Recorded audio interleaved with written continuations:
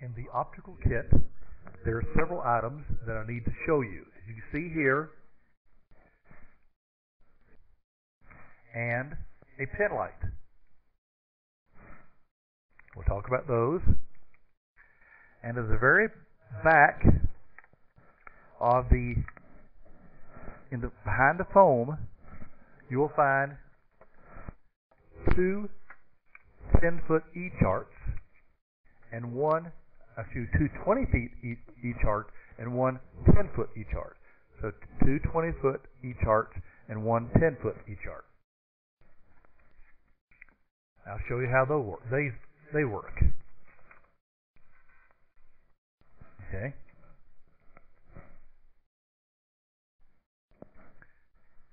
First, let's look at the confirmation twisters and the uh, lens rack. This is called a lens rack. There's two different kinds of lens racks. One of them is going to be labeled plus lens rack and one minus. Sometimes they're labeled concave and convex. Remember from my earlier discussion, concave are minus glasses for nearsighted persons, convex are plus glasses. So these are minus glasses, and it says minus right on it at the very top. Like I said, in some cases they may say concave. In this case, they say plus at the top. In some cases, they may say convex, or vexing out in the center. Now, I'm a nearsighted person, so this is the type of lens rack that I need. Now, if you look carefully, you can see beside every lens is a power indicator. Now, this is that's this is the low power side right here. You can see five, back up a little bit so you can focus a little better.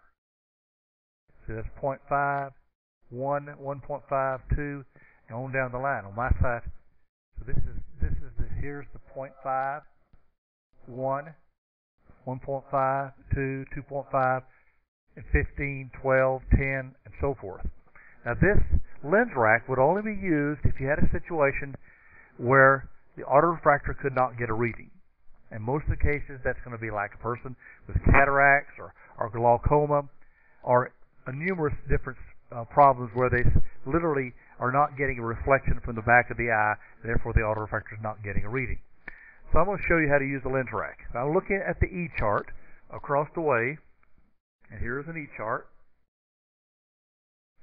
And that E chart is being pointed to by somebody who's doing a test on you with the laser pointer. Okay, so they're going to be pointing to this.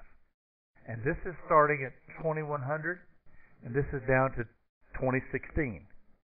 And you want to try to get them around the 2030 and 2020 area down here in the bottom. Now, the other E chart, the larger E charts, they're slightly noted differently the 20 foot E chart, and I normally just tell them to get in between the green bar and the red bar, which is 2020 or 2030. That's where I normally try to get them to, to read. Okay, so I'll pull out a 10 foot chart, and let's suppose I were looking at it at a distance. So here is the minus lens rack. Okay, take my glasses off, and I'll see how what, what it takes to improve my vision. Okay, I look across, and what I see across behind the camera is blurry. So I'm going to look through the different lenses until I find a lens that helps me. Now, this is the best lens for me. And that lens is a minus 2. This is a minus plate. That's a minus 2. That's my, that is my sphere number. Of the three different numbers that you can get, sphere, cylinder, or axis, that's only the sphere. Now that's fairly that's accurate for me in that my I have no astigmatism. I have no cylinder. So sphere is more than is all I need. However, that's not as clear as I can make it. So I'll pull up the confirmation flippers. And here are the confirmation flippers. And if you notice, this these two flippers right here are labeled plus or minus 0.25. And these two are labeled plus or minus 0.50. So these are plus plus or minus 50, these are plus or minus 0.25. Now if I take and put the minus 2 in front of my eye, and I adjust, take the confirmation twisters, and you're like one or two. Now, when I, if I were in, in Honduras, I would say uno o dos, uno o dos, or tres. You know, so any one of the one or two are without it. Which one gives you greater clarity? Now, I, I look at this one, and this is the one that I want, and that is a minus 0.25, and this is a minus 2. So if you add a minus 2 and a minus 0.25, you get a minus 2.25. And that's the spherical prescription for my right eye, which you then key in directly into the program. Now the other thing that's in this, in this little green box is a pen light. And if I were checking for cataracts, I put it from the side and I move in like this, and I'm looking to see if the pupil gets white or gray. If it does, then the person has cataracts.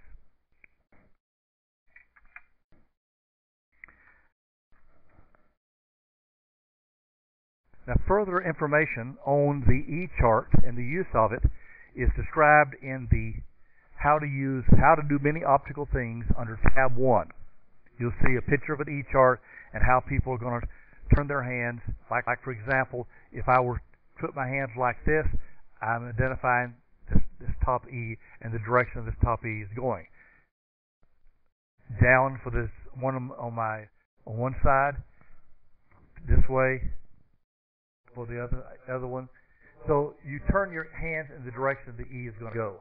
Some people actually will print out an E and then get it, hand the E to them, tell them to turn the E in the direction it wants to go. So using the E-chart is also simplified by, have, by having the laser pointer in that you don't have to post somebody next to the chart doing this. Instead, you simply have across the room, you do this while you're occluding the person's eyes to check them with the E-chart.